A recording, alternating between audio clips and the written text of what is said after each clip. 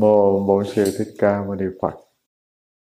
Thưa quý thầy, quý sư cô, hôm nay là ngày 28 tháng 12 năm 2023.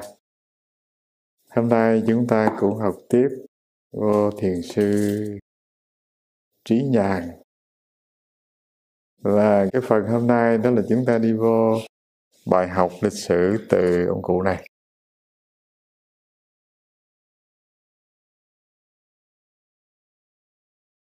Kỳ thực rằng là lịch sử của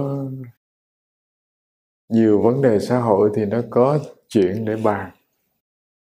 Thế nhưng mà sự liệu thiền sư thì nó cũng không thiếu chi chuyện để ta nói với nhau nghe nghe. Đầu tiên đó là mình đi vô cái phần rất quan trọng là gia thế là một điều kiện.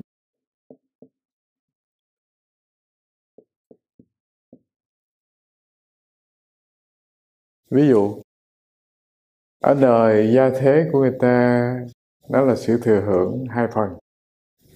Thứ nhất là gen di truyền, thứ hai là văn hóa. Và văn hóa nó đóng vai trò rất là quan trọng. Ví dụ như đó là một gia thế có thể phát triển về lĩnh vực chính trị. Thì cả gia đình người ta nói cười, sinh hoạt trong cái phạm vi chính trị. Cho nên nó dễ trở thành những người đi theo gót chân của bố mẹ. Một điều quan trọng tiếp theo nữa là nó sinh ra trong một gia đình như vậy. Thì bằng hữu của bố mẹ, người thân của bố mẹ, tất cả giao tế họ nó đều có khuynh hướng đi về cái lĩnh vực chính trị. Chính điều đó nó nuôi từ bé thơ, cho nên gia thế ở nhân gian khi mà người ta đi vô lĩnh vực đó thì nó có rất nhiều yếu tố để nó, để có thể làm thành một cái định hướng cho đời sống người ta. Thế rồi cái điều này nó cũng đúng trong cái điều kiện của Già Lam chúng ta nghe. Và chúng ta chia ra vấn đề này nó thành nhiều góc để nhìn. Thứ nhất đó là cái chủng nhân sâu xa.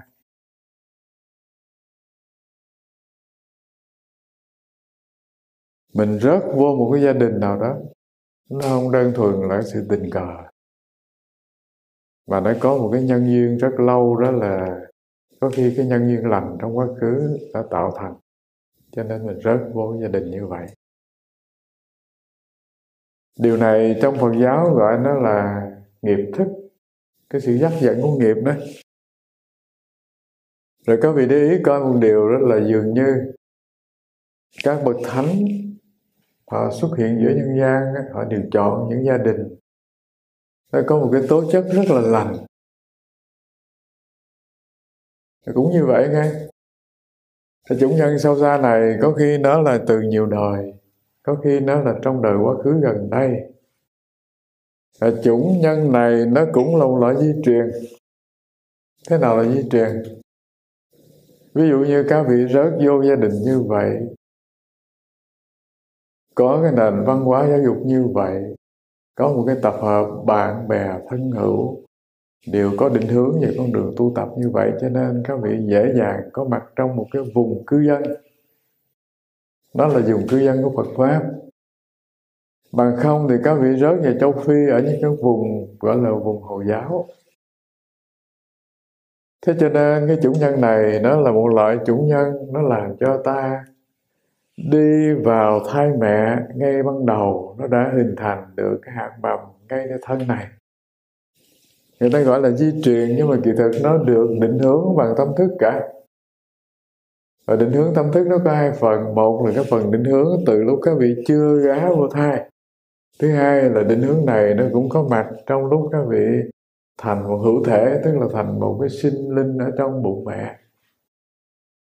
Hai điều này nó tác hợp lại, nó làm thành và thế nào là làm thành một sinh linh trong bụng mẹ mà ta có thể có một cái khuynh hướng, đó là hướng về con đường tu tập.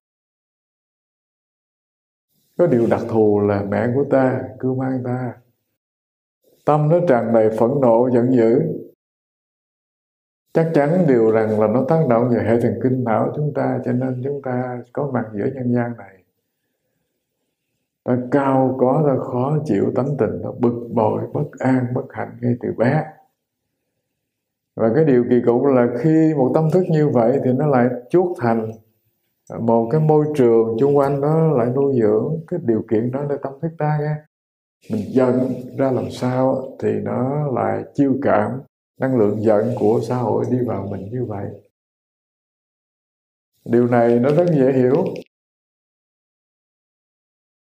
Các vị nhìn có một điều rằng là khi mình nổi thịnh nộ phiền muộn á, thì chung quanh bằng hữu của mình nó cũng giống với cái trạng thái tâm thức mình nó cũng tràn đầy cái sự phẫn nộ ý như vậy. Cho nên ở cái chủng nhân sâu xa này nó có hai phần. Cái phần là một thần thức còn chưa thọ sanh. Thứ hai một thần thức ghé là thai mẹ thì nó đã hình thành cái điều này đó nghe. Đây là một loại. Dùng con mắt thường chúng ta không thấy nhưng mà con mắt của các vị bồ tát là một định đại tổ sư là hai những vị có được trí tuệ giác ngộ là ba nhìn ra những điều này, cho nên các ngài có khả năng là chọn nơi thọ sanh. Thưa đại chúng rằng là lịch đại tổ sư sở dĩ họ có mặt lại trong nhân gian này, có khi họ không cần biểu hiện ra cái sự có mặt trong một cái dòng văn hóa học thuật, hoặc cái dòng văn hóa đó là dòng văn hóa của người tính kính tâm bảo là do vì họ có một lực dụng mạnh là một. Đi đâu đâu không, không có chủ nhân nha. Cho vậy cho nên họ rớt vô hoàng cung rớt vô nhà ngoại đạo kiểu như xá lợi phất hay một kiền liên. Hoặc là họ lạc vô những cảnh giới nào cũng vậy. Thế nhưng mà họ biết rằng là vì nhân duyên với gia đình đó là một vì ý niệm độ sinh là hai, cho nên họ chọn nơi như vậy để trả ơn là một. Gieo chủ nhân gia đình đó là hai. Và họ tin chắc rằng họ không mất chủ nhân lành, cho nên họ không ngại ngần chi về cái chuyện có mặt nơi chỗ nọ chỗ kia. Riêng chúng ta à, lực dụng tu chúng ta nó còn ở yếu cái sức mạnh tâm linh chúng ta nó chưa đạt đến mức độ giác ngộ, do vậy cho nên cái điều vô cùng quan trọng là các vị gieo cái chủng nhân lành rất sâu xa. Để đời đời kiếp kiếp sinh ra thì không có mất cái nhân duyên lành sinh vào gia đình Phật pháp. Nương với tuệ giác, với ban nhà trí để tu. Cho nên trả lời tài đề cho các buổi rồi, các vị không chứng được viên mãn giác, thì các vị ghé lại thì các vị liền biểu hiện ra một cái trạng thái tâm đó là luôn hướng về con đường tu tập ngay bé thơ đã ngưỡng mộ tam bảo đi vào con đường tu tập rồi. Cho nên nhớ cái chủ nhân này, nó làm thành một cái sự tái sinh. Do vậy cho nên các vị nhìn, các vị thiền sư đều tái sinh trong một cái điều kiện có một gia thế gần gũi tam bảo. Và trong một xã hội, có khi là xã hội có Phật pháp rất thịnh ngay. Đây là cái nén đầu tiên mình nói cho nhau nghe cái nét thứ hai, nó có một cái phần quan trọng là thuận lợi.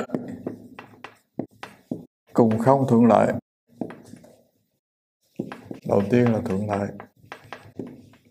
Thứ hai là không thuận lợi.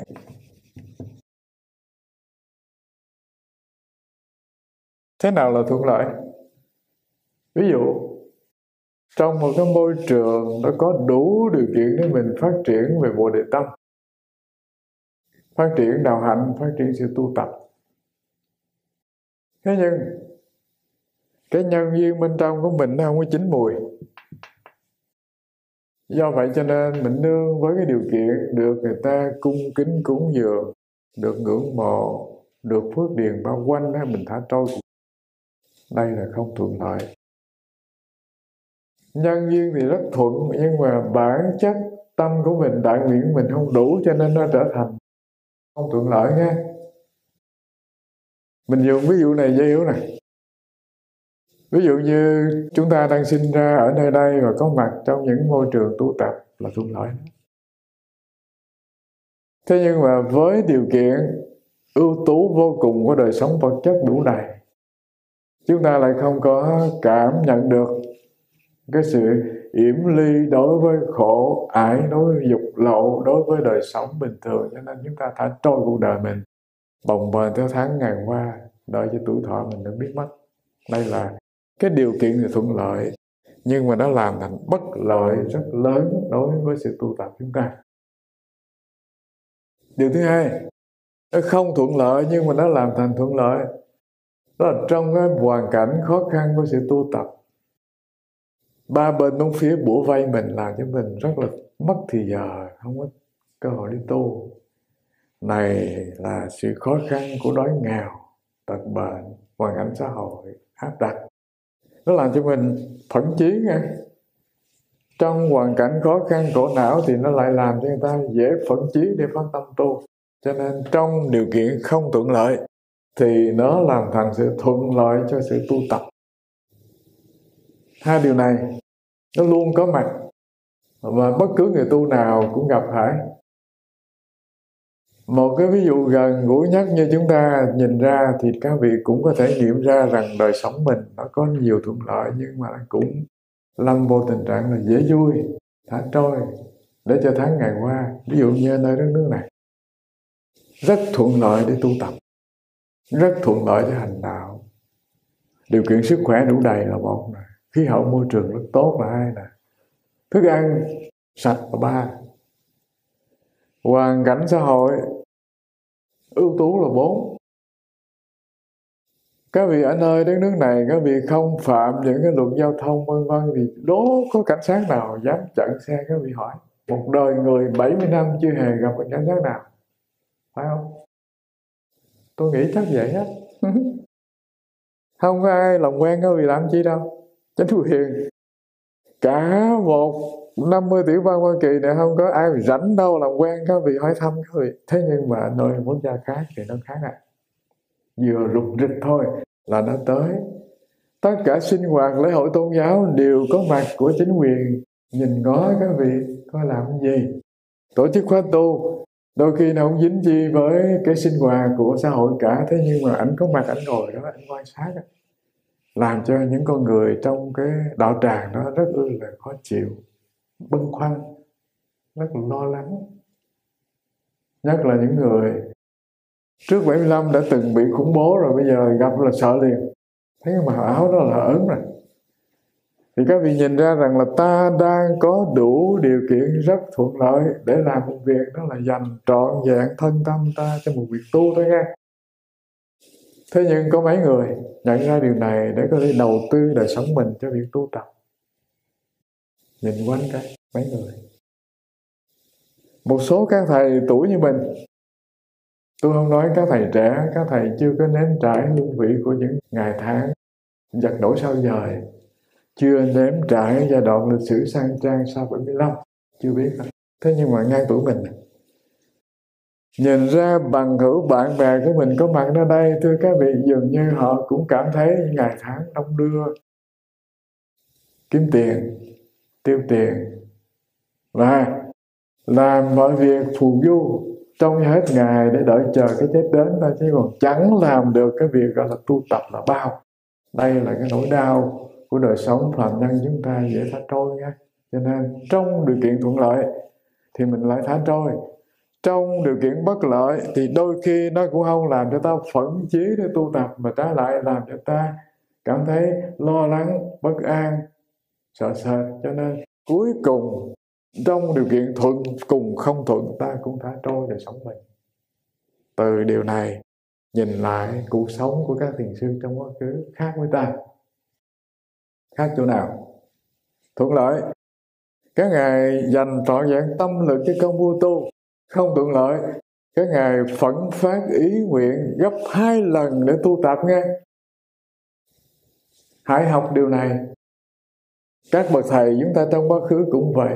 Các vị có biết rằng để học Phật á, đốt một bó nhang về lõi lô vô từng từng trang kinh để đọc để học chứ có phải như chúng ta có đèn điện sáng tròn đâu. Mùa đông lạnh làm gì có cái sưởi mà sưởi có ro là đốt một đống lửa ngồi quanh, hơi lửa là cùng.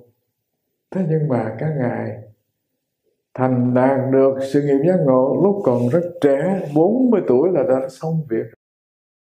Chúng ta thì tới bảy, tám mươi mà vẫn còn phiền não, ngập lòng, hơi lạ khác cho tới giờ, dường như sắp vẫy tay chào nhân thế ra đi rồi, nhưng mà vẫn buồn, vẫn vui, vẫn hờn, vẫn giận, vẫn tâm thức nó tràn đầy nhỏ nhoi phiền muộn. Cái này là cái điều tệ nhất mà chúng ta nên tránh một ngày tu không có được, được niềm vui. Ngày tu không có được cái tinh thần lực dậy lên. Để cho tâm mình nó tràn đầy cái sự ganh tị là một. Phê bình phán xét người là hai. Thì thưa đại chúng là mất thì giờ vô ích lắm.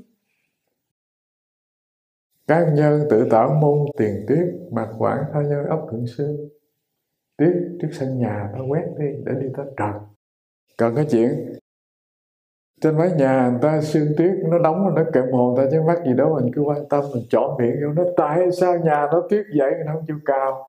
Không ai vô duyên mà. Và chúng ta đều như vậy nghe. Cái chuyện phiền não của người khác, cái chuyện ác pháp sinh trưởng trong tâm người khác, cái chuyện không tu người khác có dính gì ta đâu? Mình không thay bất cứ ai đi gánh cái nghiệp quả của người thế cho nên đừng có mất thì giờ trong cái chuyện là quan tâm, cái chuyện buồn vui hận giận, bất an, hoặc là ác pháp, tràn ngập tâm thức người ta. Người ta khó ưa, khó chịu, khó thương, thì người ta tự chuốc lấy cái quả của người ta thôi, chứ còn ta không thay kia được. Ta tu, ta càng ngày càng lành, tâm ta càng ngày càng tự bi, trí tuệ ta càng ngày càng phát triển. Người kia không có chia sẻ gì với các vị được cả còn người kia tu, các vị cũng không có thể là lấy của người ta được chút phước nào đâu. Mất công. Thế cho nên nên nhớ là học gương người xưa trong điều kiện thuận lợi thì miệt mài đi tới. Trong điều kiện không thuận lợi thì họ nỗ lực gấp hai lần để bù lại với cái hoàn cảnh vô cùng khó khăn, làm trở ngại con đường tu của họ. Đây là nét thứ hai. Chúng ta hãy nhận diện về điều này nét thứ ba.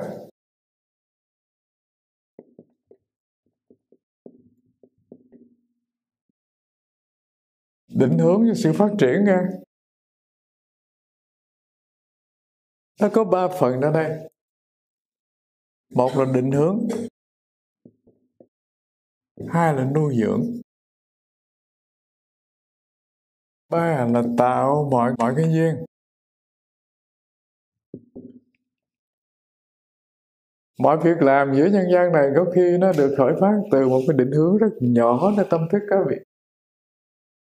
Điều này các vị nhìn lại tự thân mình nghiệm hàng ngay. nghe đầu tiên có khi mình cũng chưa phải là phát dũng lực mạnh để tu gì đâu.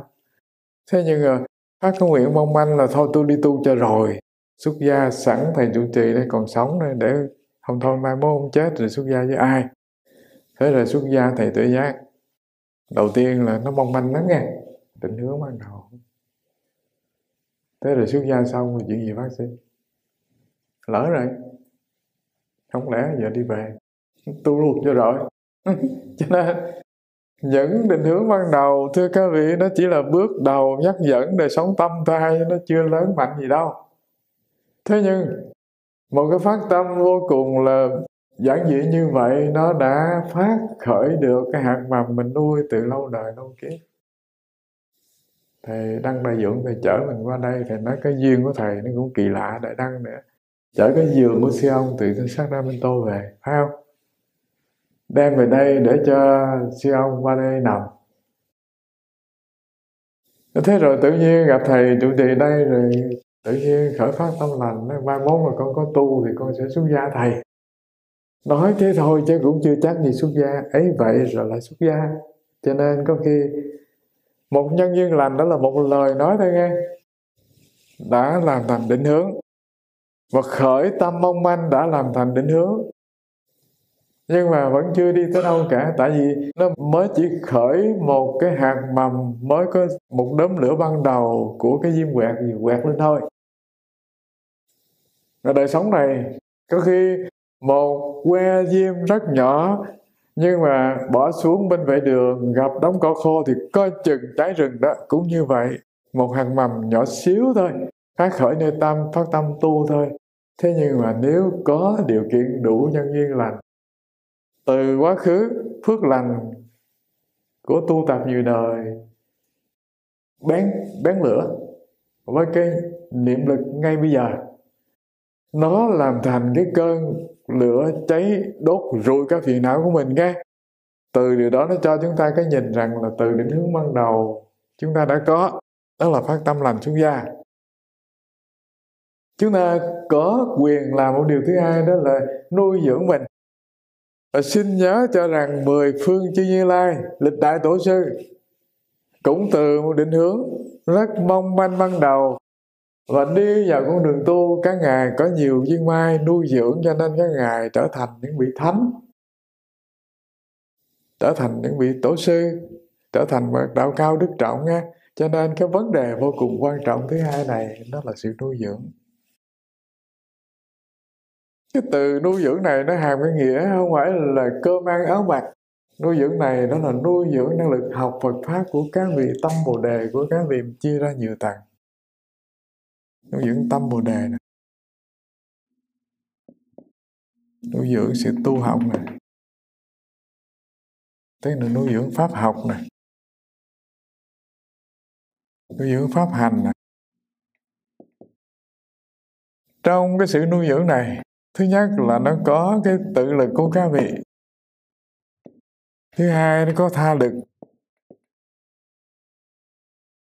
Kia thử rằng chúng ta tu thì nó đều có hai phần này nha. Tự lực của các vị phát ra cái định hướng như thế nào thì tha lực liền, yểm trợ các vị tương tác, các vị ra làm vậy. Ví dụ như tự lực của tôi là tôi muốn rằng đời tu của tôi nó không có cái chuyện là cơm ngày hai bữa. Kinh tụng sáng chiều trả nợ quý thần, xong. Không có chuyện đó. Mà tu của tôi là phải từng ngày từng ngày trưởng thành trong đạo từng ngày từng ngày năng lực trí tuệ phải phát triển. Từng ngày từng ngày đối với kinh văn của Phật tôi phải đọc tôi phải hiểu. Chưa làm được chi nhiều chưa ngộ được đạo thì tối thiểu một ngày tôi phải đọc bài kinh. Một ngày tôi phải chép một bài kinh tóm yếu bài kinh để cho tôi dễ nhớ. Các vị có biết rằng là những ông già 80 ngoài tuổi á, họ đều làm một việc đó là chi? Họ đều viết từng ngày từng ngày. Cái điều này mình chứng kiến với anh Mỹ nha. Ở bên Lộc Quyển có một thầy kể ra đây để các vị học cái cách này. Thông thường cái văn hóa người Việt chúng ta là cái chỗ của thầy ngồi á là mình không có tới đó mình mình, mình xí đâu nha. Mình có cái phòng trà cái chỗ ngồi của mình bình thường đó là khuya ngồi ngồi uống trà.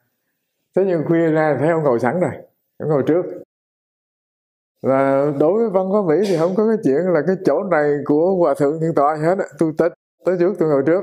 Nó ngồi, chém chệ, bài bình ly ấm chén ra, ta pha trà. Và ổng thì nói được tiếng việt duy nhất đây, móc câu. Tiếng là ta móc câu. Ở mình thì nói được tiếng là, thank you thôi. Cảm ơn, rồi xong. Ổng rót cho ly trà, mình bưng mình uống, mình đi chỗ khác. Tại vì ổng ngồi rồi. Ổng bài ra tập vở sách ổng ngồi viết liên tục thế là một hôm có một thầy nói được tiếng mỹ nói được tiếng việt. Ông mới nói rằng là sở dĩ tôi phải làm như thế này mỗi khuya là tại vì nếu tôi không làm thế này tôi, tôi dễ quên cho nên già rồi cần phải viết. Đọc trong sách viết lại rồi suy nghĩ trong đầu viết ra. Để nó làm thành cái sự nhuần nhuyễn và trí nhớ mình không có mụ đi nó không có lãng quên đi từ cái điều này cho chúng ta cái nhìn rằng,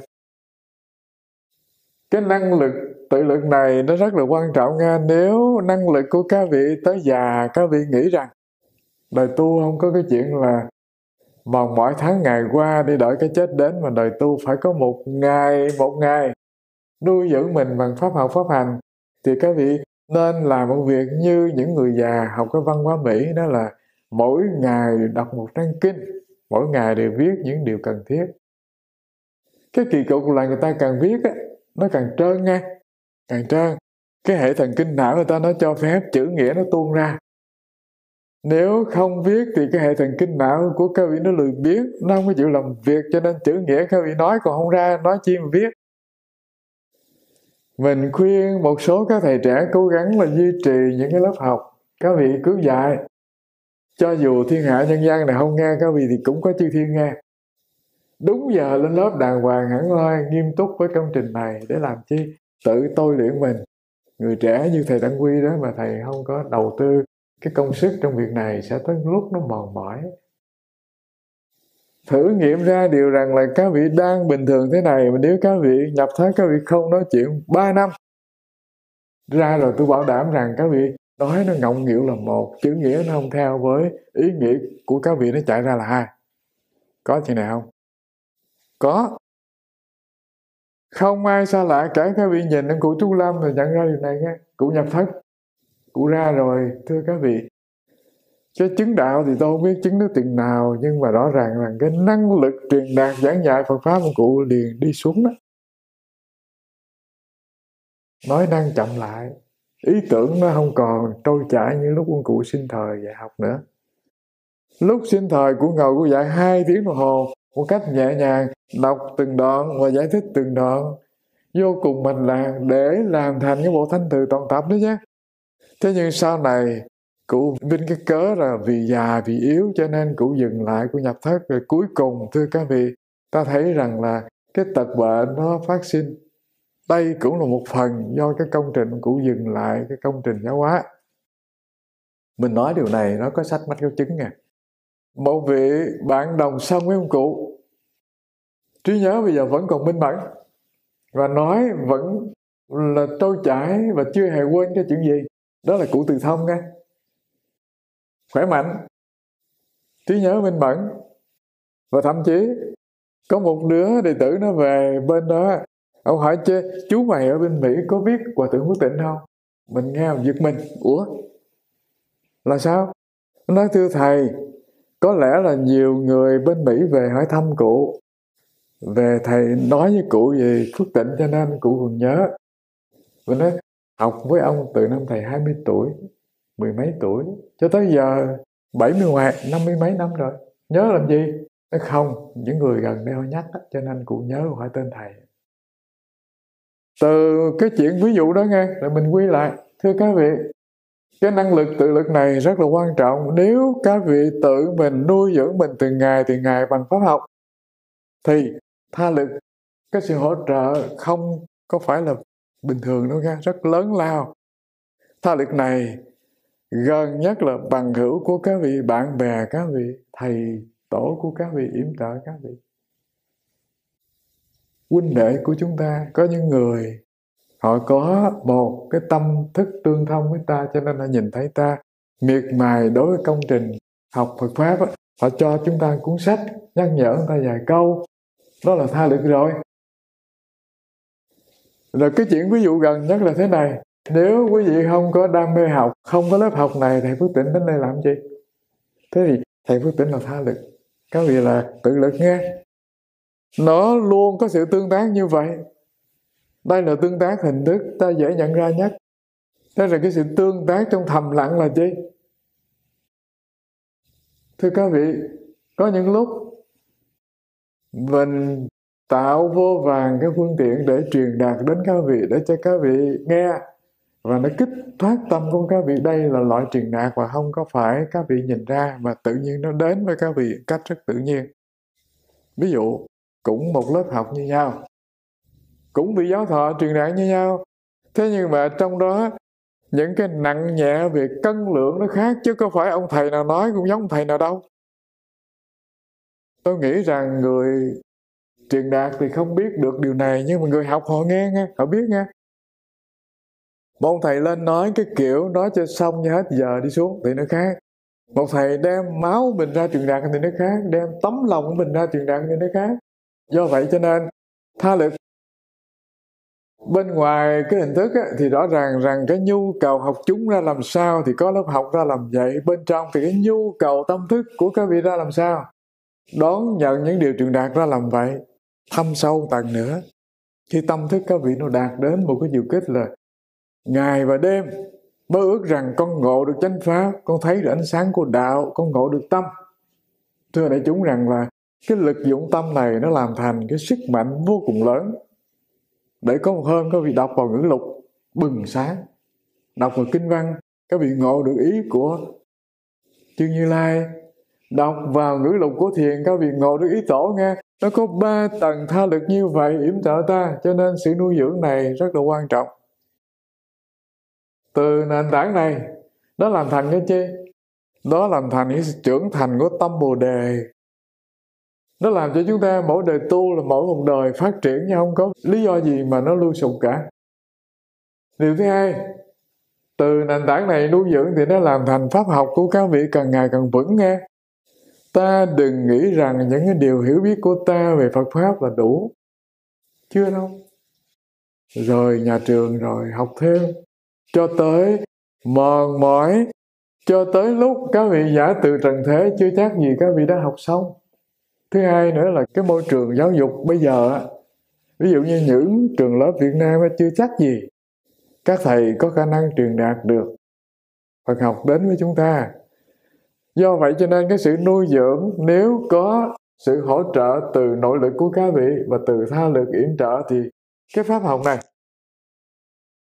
được định hướng đầu tiên là cái pháp học này nó phải tự thành tựu từ nỗ lực của từng cá nhân chứ không phải là do cái môi trường của trường lớp đào tạo. Thế nào là nỗ lực của từng cá nhân? Trong lớp học như thế này, không phải mọi người chúng ta đều đón nhận Phật pháp như nhau nghe. Càng không phải là mẫu thầy cực kỳ giỏi mà có thể đào tạo ra 50 người đều là học trò giỏi, không. 50 người học trò đó có thể có một vài người rất giỏi thôi. Thế thì cái rất giỏi nó từ đâu vậy? Từ cá nhân của từng người, họ cảm thấy cái nhu cầu học là nhu cầu sống còn. Nhu cầu học là niềm đam mê. Nhu cầu học là một loại thưởng lãm để nâng cao tâm thức. Đối với cái dân trên hành tinh này, các vị có biết rằng một cái dân tộc thông tuệ nhất trên mặt đại địa này là dân do thái. Nó không coi cái chuyện học là việc kiếm cơm. Không coi chuyện học là kiếm lợi kiếm danh. Nó coi học là một đạo đức làm người không học là không có đạo đức. Từ nền tảng này cho nên nó làm thành một dân tộc nhỏ, bé về địa vực, ít oi về dân số. Thế nhưng mà sức mạnh của nó về nhiều lĩnh vực, đến nỗi rằng là cả một cái cộng đồng hồi giáo xung quanh đều căm ghét, thù hận nó mà không làm gì được nó hết. Dập nó nó không chết. Từ cái ví dụ đó là chúng ta quy chiếu lại đời sống tu ta cũng vậy nghe. Khi pháp học vững rồi cái điều đầu tiên dễ xảy ra là các vị sẽ thấy rằng là đời sống người tu của mình cho tới già. Cái niềm vui tuyệt vời rất lớn đó là cái niềm vui của niềm hỷ lạc đối pháp nghe an trú trong pháp đã là niềm vui rồi. Đời sống người tu và tới già chúng ta không có pháp học thì chúng ta rất là buồn, không có việc làm và điều thứ hai nữa là pháp học này nó vững bao nhiêu thì pháp hành này tự nhiên nó trở thành căn bản và vững chắc bấy nhiêu. Hai điều này cộng lại nó mới làm thành tựu được thánh trí của các vị, đạo đức của các vị, năng lực giải thoát của các vị. Để tôi nói một điều rất là cạn để các vị nhìn coi. Ví dụ như pháp học này, ngay từ lúc mình mới vào chùa, mình không có buồn lòng học thuộc lòng thì đi. Nói tới nó lui rồi nhắc điều này thì cái công phu hành trì mình tự nhiên nó rất là ốm yếu. Các vị có biết rằng là mình mỗi sáng mình rửa mặt, rửa tay, đánh răng, lau mặt. Mình đều làm rất chậm và chiêm nghiệm từng câu kệ tỳ ni nha. Ví dụ như mình lấy nước rửa mặt, mình không đọc theo cái bài kệ của tỳ ni dạy cho, mà mình lại đọc theo cái cách của mình phát nguyện thôi. Tại vì đôi khi những cái điều học thuộc lòng nó làm lờn tâm thức mình. Đọc qua quýt thôi. Cho nên, những bài kệ nào mình thấy rằng mà mình cần phải chế tác lại, thì mình chế tác lại. Không phải mình coi thường kinh văn, nhưng mà mình có quyền làm cho những bài kệ ấy nó trở thành một cái nguyện lực, nó ý mình để nó nuôi dưỡng mình thôi. Con xin dùng nước này rửa mặt con để làm cho mặt con lúc nào cũng rạng rỡ. Mọi chúng sinh nhân gian này nhìn vào con phát khởi bồ đề tâm. Mọi chúng sinh nhìn vào con có thể hướng về tam bảo, lòng không thối chuyển. Không phải cầu cho mặt tôi đẹp, mà cầu cho nhìn tôi là người ta phát tâm tu thôi. Khoát nước rửa tay, cầu cho tôi có hai bàn tay rất sạch để thọ trì Phật pháp, làm lợi ích cho muôn người. Thưa các vị là mỗi một hành động của chúng ta mà đi kèm với một lời phát nguyện như vậy thì các vị nuôi dưỡng được cái chứ bản hoài người tu nuôi dưỡng được thiện pháp trong tâm thức. Đánh vỡ phiền não khổ đau đang có nơi hằng sa kiếp tới hôm nay. Làm cho cái bản nguyện càng ngày càng dày. Làm cho cái hiệu lực của lời cầu nguyện này nó gắn chặt vào từng tế bào sống động để nó làm thành cái sự khỏe mạnh của thân, an lạc của tâm thế thì thưa đại chúng, khi pháp học có được nền tảng rồi, thì các vị tự nhiên cảm thấy pháp hành là một việc tự nhiên nó đến thôi chứ không cần cố gắng để hành trì nhé. Đây là mình nói cái tầng cạn nhất ở mức độ là tỳ ni thôi, thì nó đã hình thành được như thế này. Càng ngày càng đi vào chiều sâu đến độ là tâm thức các vị nó không có nghĩ gì về cái chuyện phiền não bất an nào khác ngoài cái chuyện là Phật pháp hết. Phật pháp nó quay tròn tâm thức các vị. Đành rằng cái phần này nó chưa tới đâu. Nó chỉ là một loại ý niệm sinh diệt cùng cuộn trải ngang, nhưng ý niệm này đã định hướng cho cái con đường phát triển tu tập, phát triển trí tuệ. Định hướng cho con đường là mình tu được bao nhiêu thì liền làm thành lợi ích cho người bấy nhiêu nghe chưa có vị thầy nào trở thành vị giáo thọ. Dắt dẫn người ta tu tập truyền đạt chánh pháp trôi chảy?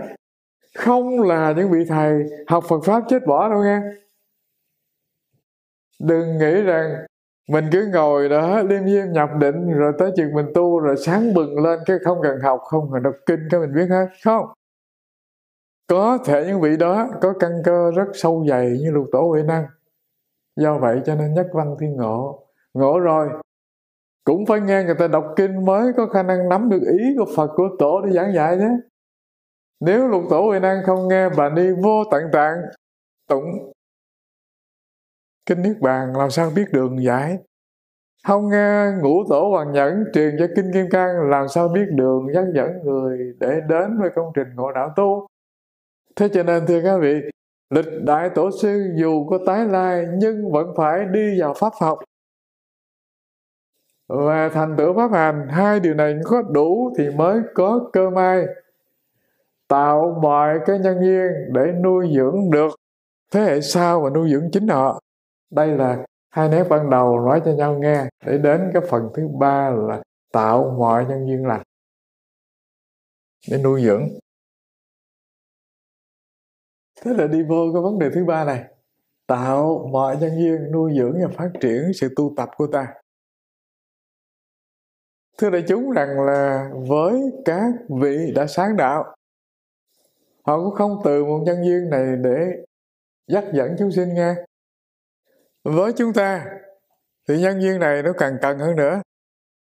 Đầu tiên đó là tạo mọi nhân duyên rất lành. Tạo nhân duyên lành đi. Nó hàm nghĩa rằng là tăng trưởng phước điền, tăng trưởng phước lành sau đó mới tới nhân duyên độ sinh có hai phần trong nhân duyên này. Đầu tiên nhân duyên lành là chi? Phát khởi ra từ tâm thức của ta gọi là nhân duyên lành. Xin thưa rằng pháp lành là một, phước lành là hai. Và nhân duyên độ sinh này là ba. Nó không phải sinh ra từ những việc làm bình thường mà nó sinh ra đầu tiên từ cái đầu của chúng ta cái đã cái đầu chúng ta mà nghĩ về người, phát tâm lành, hướng thiện và phát tâm từ bi. Cầu cho người để an lạc, đây là một nhân duyên lành rồi. Các vị nên nhớ rằng khi tâm ta luôn tâm niệm một điều, đó là gặp mọi người đều mong cho họ được an lạc. Được khỏe mạnh, được sống dai, được trẻ trung, được hạnh phúc. Bất cứ người đó là người quen, kẻ lạ, kẻ thù hay là vân vân, thưa các vị ta đều khởi cái tâm này, phổ năng lượng lành như chúng ta đến với người kia, mong cho người kia được như vậy. Các vị làm điều này có mất tiền không? Không. Thế nhưng mà cái lợi của nó là chi? Lợi của nó là người kia có thể thừa hưởng được cái năng lượng lành ta gửi đến. Cùng không cái chuyện đó thì chưa tính. Tại vì tâm họ mở ra, tâm họ tương ưng với ta thì đón nhận được. Còn tâm chưa tương ưng, thì cái lợi đó nó đến với ta trước nghe phát một tâm lành hướng về người, mong cho người được an lạc thì các vị đã có an lạc trước rồi. Các vị mở tâm từ đối với người rồi, lòng bao dung mênh mông rồi. Cho nên cái lợi ích lớn nhất nó đến với chính người phát đại nguyện chứ không phải với người kia. Điều này, thứ nhất là không mất tiền. Thứ hai, chẳng mất cái chi. Nhưng mà nó lại lợi ích vô cùng lớn là làm thành cái phước lành vô cùng lớn cho các vị tạo nhân duyên lành với mọi người trên mặt đại địa. Này con sâu, này cái kiến, này con chim bay, này con cá lội, tất cả mọi loài động vật, thay vì các vị bỏ tiền ra, các vị mua phóng sinh. Tiện đâu mình mua cho đủ. Nhiều quá, vạn loại chúng sinh mà. Cho nên hãy làm một việc. Không tốn tiền, mà gieo chủ nhân với vạn loại bằng cách chi? Trong bất cứ điều kiện nào, gặp bất cứ thứ chi, các vị đều khởi tâm lành đối với những đối tượng các vị gặp hồi nhỏ mình mới xuất gia đó. Các vị có biết rằng các vị thầy bổn sư mình rất nhà quê như ông giải nó này con. Mình không thể làm một việc gì tùy tiện nha. Ví dụ như cưa củi, người ta cho nó thì mình phải cưa. Thế nhưng mà con biết rằng cây nào nó cũng có mọc thần. Cụ nhà quê cụ dạy vậy cho mình sợ thôi. Có mọc thần cho nên phải khấn mọc thần ạ à. xin phép đàng hoàng ạ. À. thưa mọc thần là chùa chúng con đang cần củi cho nên xin ngài vui lòng cho con xin cái cây này tới chuyện lớn, tới chuyện học Phật rồi mình viết ra rằng là mỗi một loài sinh vật, mỗi một loài thực vật nó đều có linh thức mạnh và yếu, mong manh hoặc là rất là nhạy cảm nghe. Cây cối nó cũng nhạy cảm chứ chứ đâu phải là không nhạy cảm. Cho nên mình nói chuyện với nó trước, xin nó trước. Như cái gì?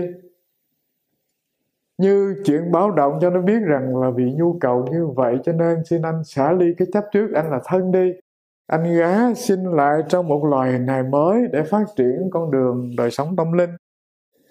Do vậy, thưa các vị, đối với cành cây lá cỏ, loài thực vật, các vị nên nhớ rằng nó đều có một linh hồn nhất định. Và khi chúng ta rải tâm từ, như Đức Phật giả là nhuần thấm đại địa, nó hàm nghĩa rằng là các vị tự tu phước điền không cần làm gì nhiều, nhưng mà tâm ta khởi điều đó. Đã có phước rồi nghe. Mình là đào đất, động thổ đó. Mình bứng cây, mình cưa cây, tỉa cành, vân vân, thưa các vị. Nó đều có một phần làm tổn thương, làm tổn thương đất, làm tổn thương cây cối cho nên, nếu người tu không biết điều này thì có khi chúng ta, vô hình trung chúng ta, làm thành cái sự tổn giảm sinh mạng của chúng ta những bậc đại trí tuệ, đại phước đức, các ngài làm tất cả công việc cần thiết. Xây dựng gà lam tự viện á, các ngài đều phải khấn quỷ thần xin xỏ đàng hoàng là vậy đó nghe.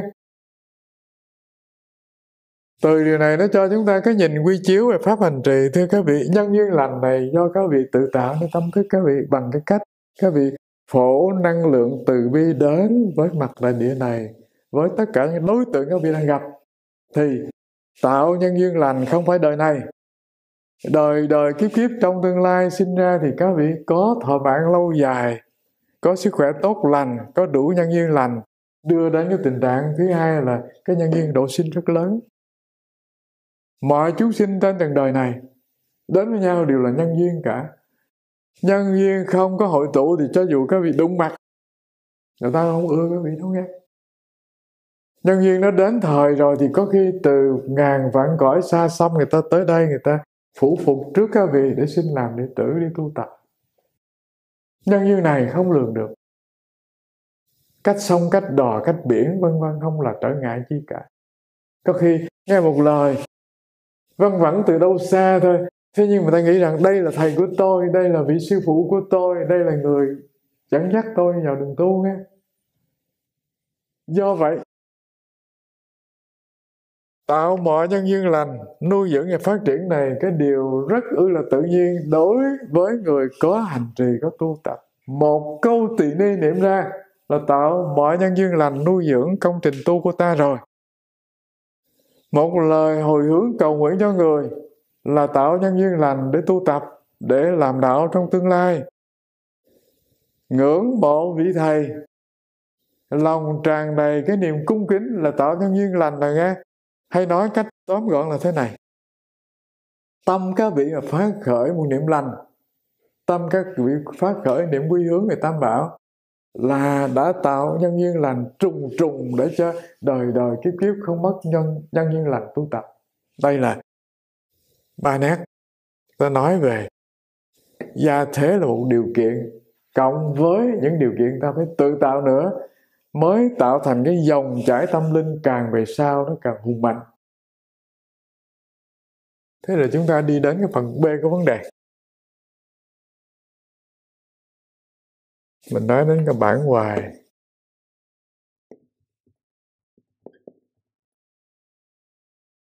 các vị nhìn vào ngài trí nhàn, các vị thấy nghe mình tóm ra được mấy điều từ lịch sử của ngài trí nhàn, rồi mình chia sẻ với nhau để các vị học từ bài học này. Thứ nhất là rũ bỏ nghiệp cũ, dừng tất cả nghiệp ác ngay bây giờ.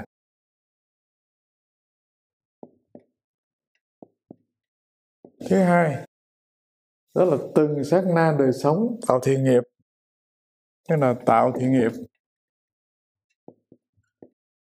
Thứ ba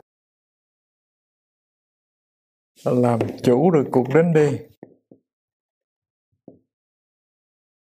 Và thứ thứ năm là thành tựu.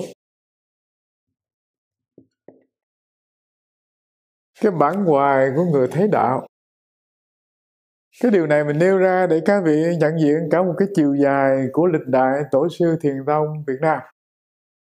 Dường như các ngài đều có mẫu số chung này nghe thứ nhất là ông dừng lại tất cả nghiệp cũ đã tạo. Nghiệp nhân gian, nghiệp quan quyền, nghiệp lao sao trong trần thế dứt liền không có dây dưa. Thứ hai, tạo thiện nghiệp từng sáng na khi ném đời sống mình vào nhà lam tu, tức là khoác pháp phục như lai, cạo tóc rồi, thì cái việc phải làm đó là từng ngày, từng hơi thở, đó là tạo phước điền chứ không có chuyện gì khác ngoài điều này. Điều thứ ba, kết vô lượng nhân duyên với chúng sinh. Chúng sinh đó là loại động vật, chúng sinh đó là loại bay trên trời loại lội dưới nước loại chui dưới đất, vân vân. Chúng sinh đó là những cái cây cối về đường, họ đều kết duyên lành hết. Điều thứ tư là họ làm chủ được cuộc đến đi của họ không có cái chuyện là nằm dài ra đó rồi làm cực nhọc người khác. Chuyện thứ năm, đó là thành tựu sự nghiệp giải thoát nha. Hai điều này nó có sự khác biệt thế này. Khác biệt đó là có thể làm chủ được cuộc đến đi nhưng mà vẫn chưa thành tựu sự nghiệp viên bản giải thoát. Có những vị thiền sư có thể nín thở ra đi cách nhẹ nhàng nhưng mà so với những vị thầy triệt ngộ thì họ nói rằng đành rằng ông như vậy, nhưng mà so với ta còn mất tới 10 kiếp mới có thể bì lại với ta. Do vậy cho nên đàn đến cuối cùng sự nghiệp giải thoát. Không hàm nghĩa rằng là làm chủ được sống và chết mà đã giải thoát. Cái tầng này là tầng sâu thẳm nhất của đời sống người tu chúng ta phải đạt. Thế nhưng trở lại cái phần đầu. Các vị hình dung rằng là đôi khi chúng ta cũng thấy được đạo đón thoát đó chưa thấy nhiều cũng thấy ít chút chút cũng được. Thế nhưng cái tội nghiệp là dường như mình chưa dừng lại được nghiệp quá khứ nha. Nghiệp quá khứ của mình ví dụ như cái nghiệp đó là nghiệp vướng mắc với bao nhiêu nỗi niềm trần thế. Dường như mình tu rồi thì cứ, cứ tu nhưng mà nghiệp này dừng không được. Đây là trường hợp khá khen rồi đó. Không dừng được nhưng không tạo thêm. Có những người họ là những người tu hành vài mươi năm nhưng mà chẳng những không dừng được nhưng họ lại tạo thêm cái nghiệp dây mơ rễ má của lôi thôi lướt thứ giữa trần đời này. Đây là việc tội nghiệp nhất của người tu nghe. Này chùa, này viễn, này của, này cải, này vân vân, đủ mọi thứ du khê phiền phức. Đôi khi, cái nghịch lý là càng già, càng có uy tín trong đời sống tu, người ta càng tạo nghiệp nhiều hơn các vị nhìn quanh chẳng đang thấy hết tôi cũng hơi kinh ngạc, có những ông thầy tuổi như tôi, cũng tu từ hồi mười mấy, hai mươi tuổi. Giờ cũng làm hòa thượng nọ, hòa thượng kia, áo mũ sung xe mang chuỗi dài tới cũng rúng. Thế nhưng mà dường như không dừng lại được cái nghiệp. Cái nghiệp lợi danh chạy vại trần thế dừng không được. Cái nghiệp giản dị nhất là cái nghiệp ham tiền nghĩ dừng cũng chưa được luôn. Rồi tôi nghĩ cách đơn giản không biết, có tiền làm gì? Ăn thì đâu dám ăn. Ăn nhiều tiểu đường chết sao? Ba cao một thấp đều có đủ. Cao mỡ cao máng, cao đường thấp khớp đều có đủ. Thế nhưng mà tối ngày quần săn lên tới ngang đầu gối, chạy phải, bán đồ chai để kiếm tiền, tôi không biết để làm gì không dám bỏ một đồng cúng dường chư tăng làm phước cái chi không làm được cái công trình gọi là bắt cầu, xây trường học, làm bệnh viện, giúp đỡ chư tăng học hành. Dường như chỉ coi cái chuyện đếm tiền vào là một niềm vui, coi cái chuyện tham muốn vô độ là một niềm vui, coi cái chuyện phiền não gắn liền đời sống là một niềm vui để tự hào thiên hạ. Còn cái chuyện tu dường như không phải là chuyện cần thiết của đời sống thế thì, thưa đại chúng, nên nhớ nghe. Có những trường hợp đặc thù, đó là mình vừa tu là mình đã bỏ được nghiệp cũ, bắt đầu nghiệp mới rồi, nghiệp giải thoát, nghiệp tu tập, nghiệp học phật, nghiệp thành tựu đức hạnh. Thế nhưng có những cuộc đời càng tu về già, càng tạo nghiệp. Nghiệp đó là nghiệp tham, nghiệp ái, nghiệp sân, nghiệp dây mơ rễ má với cái con đường sinh tử luân hồi vòng quanh, đây là cái điều chúng ta nhận diện để chúng ta kinh sợ. Cho nên nên nhớ, thấy đạo rất dễ để làm được điều rằng là bỏ tất cả ác nghiệp, bắt đầu đi vào con đường mới. Nhưng mà chưa thấy đạo thì coi chừng vấn đề này, nó là một vấn đề đặt ra cho mọi người tu. Chúng ta nghe. Tại sao? Đầu tiên bước vào cái cửa thấy đạo là các vị yểm đi sinh tử trước chán mứa dục lậu. Hai, chán mứa cái con đường sinh tử lanh quanh là ba. Kinh sợ nỗi khổ trần gian này và ta cảm thấy cuộc đời không có gì lý thú nữa cả. Đơn thuần là sống để nuôi màng mọc này đợi tới ngày chết thì có nghĩa lý gì đâu. Cuộc đời nó ngần nó ư, cho nên ta quyết lòng là phải khám phá được. Bên sau của cái chết là cái gì còn lại? Bên sau hình này sinh diệt này, cái gì không sinh diệt? Đây là nền tảng thấy đạo nghe. Là thấy đạo ở mức độ bình thường, đó là thấy rằng cuộc đời này vô thường, mong manh, không đáng quý. Thấy mức độ thâm sâu là thấy rằng sao đời này sinh diệt này, có cái tâm không sinh diệt. Và khi các vị đạt đến cái thấy thế này rồi, các vị không có tiếc gì về cái chuyện này của cái vật chất phù du. Này hình hài này đẹp và xấu, trắng và đen ốm và mập. Các vị nghiệm ra rằng các vị có một cái thân kim cương tương ứng với thân của mười phương chi như lai. Sống với điều này viên mãn thì các vị đoạn được phiền não khổ ưu, chứng nghiệm thánh trí, thành tựu niết bàn. Do vậy cho nên thấy đạo thâm sâu rồi. Tự nhiên, tóc ta về nghiệp cũ liền rất sạch. Không còn một chút luyến tiếc nào về cái nghiệp nhân gian ha cho nên càng nhận ra được đạo lý thâm sâu bao nhiêu thì nghiệp nó rớt mau bấy nhiêu. Và khi nó rớt, ở một mức độ sạch rồi thì các vị không cần làm, nhưng mà mọi hành xử của các vị, nói năng của các vị nghĩ suy của các vị, nó có định hướng đi về nghiệp lành. Và nếu ta chưa đạt đến độ thâm sâu, thì ta cần phải dừng tất cả nghiệp ác lại ngay bây giờ. Không làm điều gì làm khổ người, khổ chúng sinh không làm điều gì làm tổn thương bất cứ người chung quanh. Khởi một niệm là luôn mong muốn người chung quanh, mong muốn vạn loại chúng sinh có được an lạc. Bước thứ hai là từng sát na tạo nghiệp lành. Không từ nan điều chi cả. Nghĩ một lời lành, nói một lời lành làm một việc lành. Từ những điều nhỏ nhất như vậy, chút chút như vậy nó mới tạo thành một đại dương nha không có hồ nước nào không từng từ dòng nước chảy vào. Không có đại dương nào không có những dòng sông đổ vào cả. Cũng như vậy, phước đức như đại hải không phải một đời tạo được mà nó là nhiều đời. Do vậy cho nên, từng sát na một, tạo nghiệp lành không ngừng nghỉ. Điều thứ ba, kết vô lượng nhân duyên với chúng sinh. Là chi? Thưa các vị kết bằng tâm thức. Kết bằng ngôn ngữ. Kết bằng hành động nha, từ ba nghiệp. Thì thực rằng là trong đời sống của chúng ta, một ngày mà mình không có phạm phải sát sanh, không đơn giản đâu nghe từng bước chân của ta trên mặt đại địa này, thưa các vị các vị đi vô tình, các vị dẫm chết con sâu cái kiến là một loại nghiệp. Do vậy cho nên mỗi sáng, hàng tỳ kheo đệ tử như lai thì phải đọc thầm câu là chi? Từ giờ dần cho đến tối. Ngay bước chân đầu tiên, bước xuống giường, chúng ta đã làm được điều này rồi nghe. Và nếu các vị còn chưa có phát khởi tâm, mỗi buổi sáng bước xuống giường thì các vị còn thiếu một phần quan trọng là mang nghiệp, mang nợ với chúng sinh.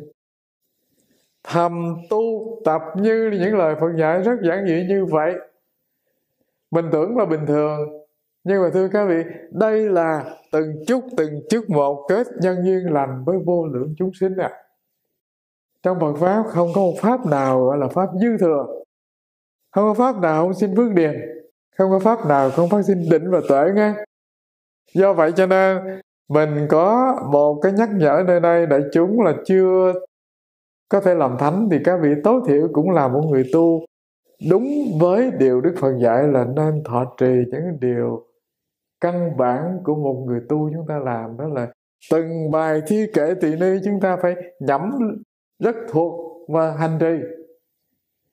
Khi làm được điều này như điều chúng ta đang nói với nhau nghe là tâm chúng ta, ngôn ngữ chúng ta, hành động chúng ta, nó đều kết duyên lành với vô lượng chúng sinh.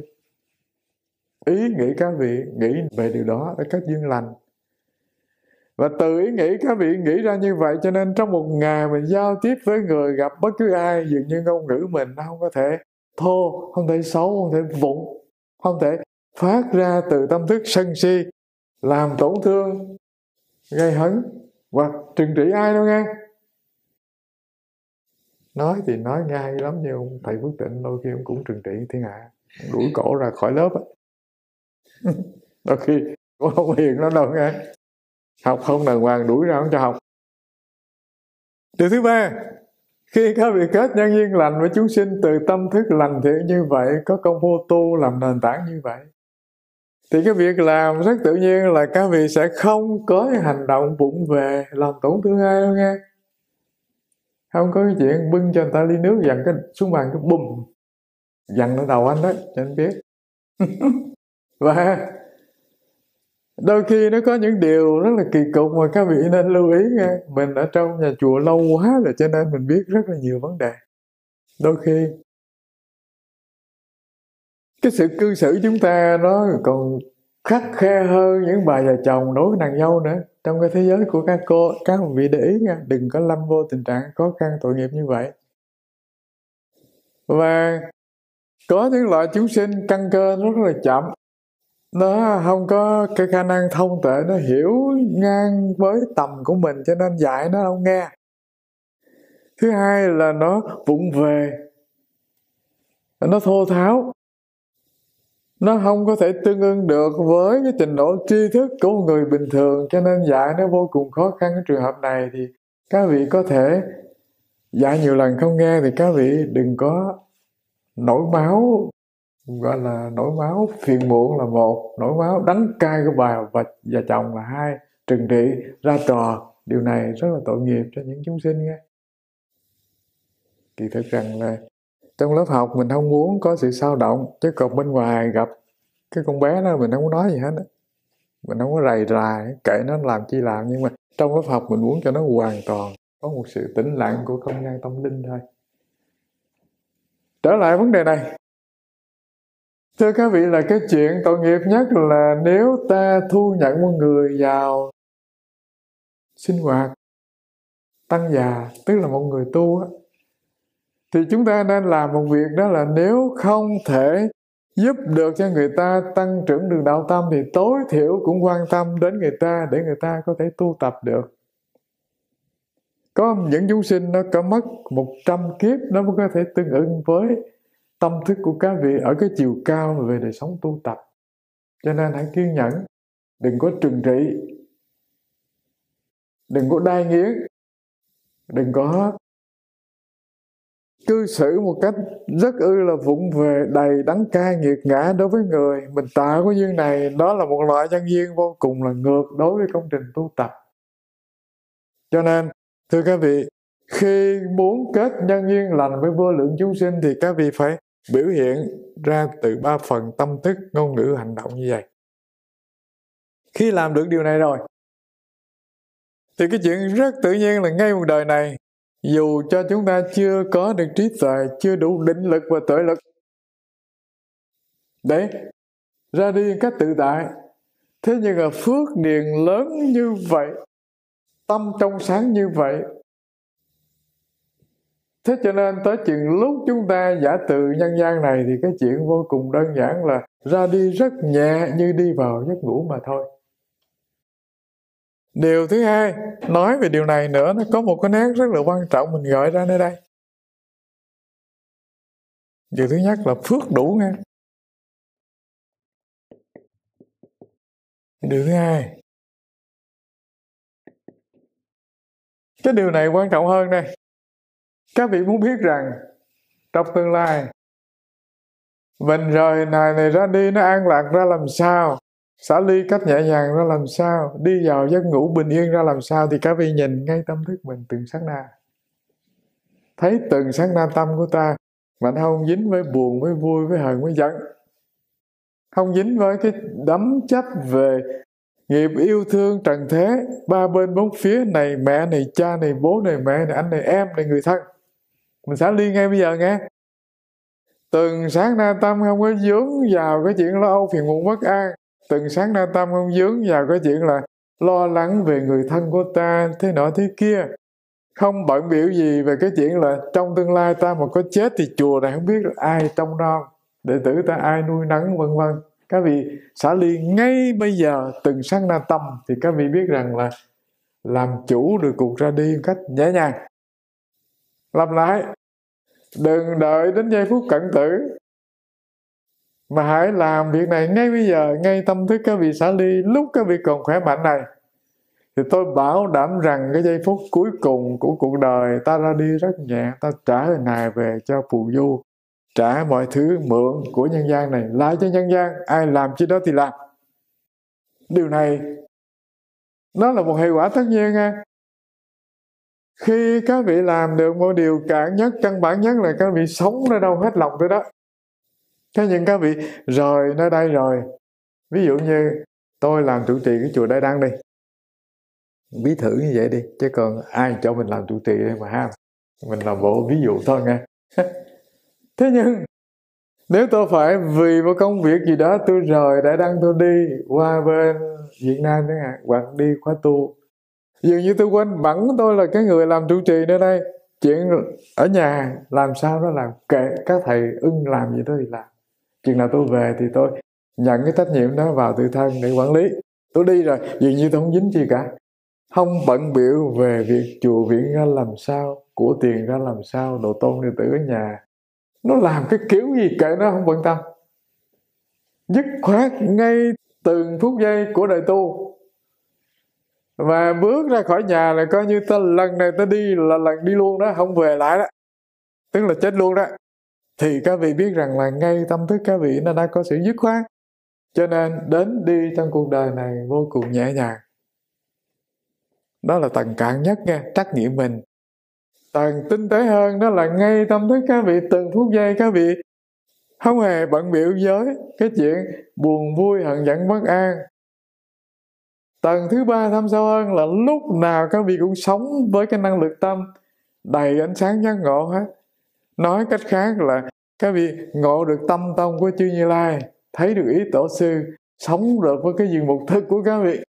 Thế thì từng sáng na không có bàn chi đến chuyện là tôi phải xả ly, nọ, xả ly kia gì cả. Sống trọn vẹn với cái thể chân thật bất động vô vi của tâm, luôn chiếu sáng từng sát na một, ngày và đêm như nhau. Ta không phải là hài ta không phải là buồn vui, ta không phải nghĩ suy, ta không phải quá khứ, ta không phải tương lai gì cả ta là thể tâm niết bàn như như tĩnh tại ngay hiện tiền. Thì thưa đại chúng rằng là các vị sẽ làm chủ được cuộc đến đi, và sâu hơn các vị sẽ thành tựu được sự nghiệp giải thoát trong cuộc đời này. Còn có mặt giữa nhân gian này, dù các vị gánh lấy trên vai một trăm chức vụ, thế nhưng dường như mọi thứ đều không dính ngay.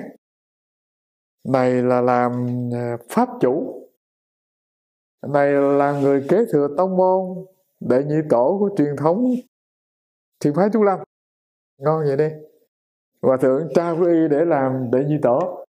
Rồi quản lý một ngàn sở chùa của hệ thống trúc lâm giao cho. Coi sóc hai ngàn chư tăng, chăm chút cái công trình giáo dục từ đầu trên tới sáu dưới. Thế nhưng với con người thấy được đạo, sống được với đạo từng sang na thế này thưa các vị, dường như mọi việc đều là trò chơi tóc tay như người người nghệ sĩ đánh đàn. Ba nốt nhạc là xong ngay. Không có bận biểu chuyện chi cả. Thế thì thưa các vị, từ nội lực tu đạt đến cái này, nó không phải là cái chuyện thần linh nào ban cho cả.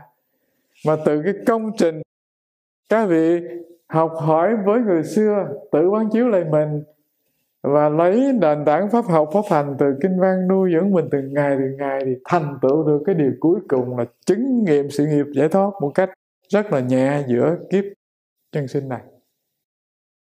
Cuối cùng có một cái kết luận ở đây để mình nghĩ nhé, gần tới giờ đấy phần thứ ba của vấn đề, ta có một cái kết luận ở đây. Thứ nhất, mọi công phu tu tập và hành đạo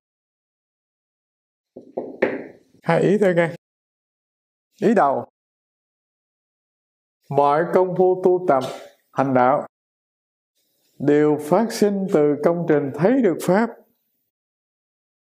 Nó hàm nghĩa rằng khi các vị thấy pháp, thì cái nền tảng tu tập là một, công trình hành đạo các vị là hai, sự thành đạt, sự nghiệp giải thoát là ba. Cho các vị nó tự nhiên thành tựu thôi, cho nên cái chữ này rất là quan trọng thấy pháp rất là quan trọng thấy pháp là chứ là kiến tánh, ngộ đạo, nhận ra pháp sinh diệt, nhận ra pháp bất sinh diệt. Thế thôi. Ý thứ hai, tùy mức độ xả ly. Của ta ra làm sao thì thành tựu giá trị cao quý của mỗi người hành giả tu tập ra làm vậy? Tu tập không có hàm nghĩa rằng các vị thêm cái gì cả tùy vào mức độ xả ly của các vị đối với phiền não, đối với tham, đối với sân, đối với si. Đối với chấp trước. Xả ly ra làm sao thì cái giá trị đời sống của tu sĩ nó dâng lên cao quý ra làm vậy. Đây là hai cái nét mình tóm lại để cho chúng ta có một cái khái niệm về bài học lịch sử đối với thiền sư trí nhàn mà chúng ta đã học. Mình đọc lại nghe. Mình biết hơi ngắn nhưng mà các vị phải thầm hiểu mọi công vô tu tập và hành đạo đều phát sinh từ công trình thấy được pháp. Đó là câu thứ nhất. Câu thứ hai. Tùy mức độ xả ly. Xả ly được bao nhiêu thì thành tựu giá trị cao quý cho mỗi hành giả tu tập bấy nhiêu. Tu nó không có gì mà như khê, phức tạp cả.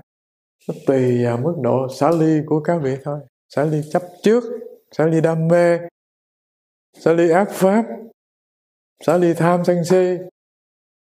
Xả ly được bao nhiêu thì giá trị của mình nó dâng lên cao bao nhiêu, giống người ta buông súng bao nhiêu thì người càng nhẹ bao nhiêu. Thế thôi.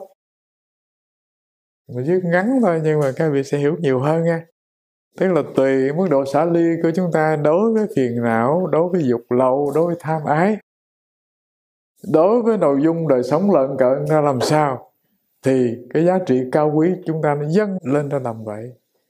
Hiểu một cách rất dễ thế này là mang nhiều đồ quá nặng lắm. Bỏ bao nhiêu thì nhẹ bao nhiêu, thế thôi. Nhớ rằng là buồn, giận, ghét, thương, ưu tư, phiền muộn rất nhiều bao nhiêu, nặng bao nhiêu cho nên bỏ hết đi, nó nhẹ, bay lên cao thôi.